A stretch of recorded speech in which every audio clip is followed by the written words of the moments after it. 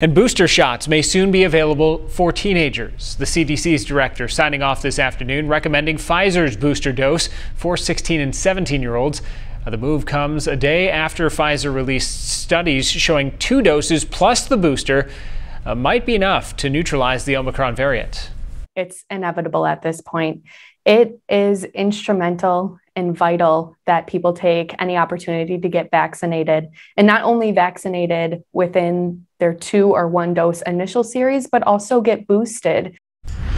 Meanwhile, the U.S. has reached a milestone now 200 million people considered fully vaccinated against COVID 19. But health experts say that still won't prevent hotspots of the viral disease. They say winter weather, the holiday season, and the pandemic fatigue in general are all playing a factor in surges seen across the country, coupled with questions about the role of this new variant. And we're